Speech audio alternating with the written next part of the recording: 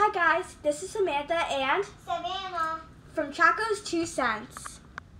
Today I'm going to talk about a cute little bakery called French Workshop. It's located on Franklin Avenue in Garden City. The place looks small from the outside, but it's surprisingly big.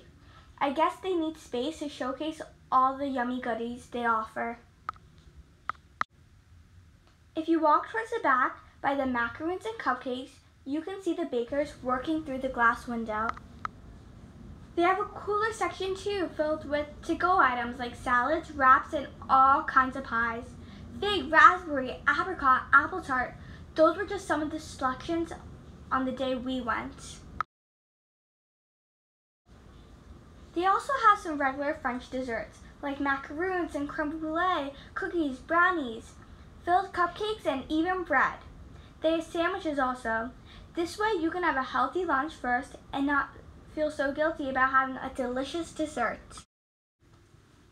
On top of the French workshop, having amazing desserts, it's also next to some great stores like Lord and Taylor and Starbucks. I've yet to get something from here that didn't taste amazing, but I don't want you to be surprised if you decide to check the place out.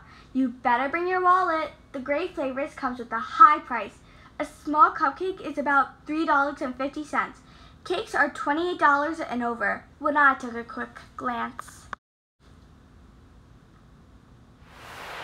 I was so excited to eat my dessert that I didn't get a picture of it.